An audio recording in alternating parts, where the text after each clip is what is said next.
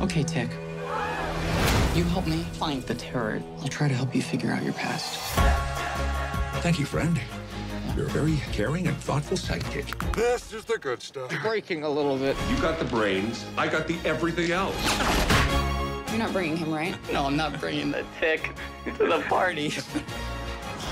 Skin slippers. Fleecy majesty. Yeah, yeah, yeah.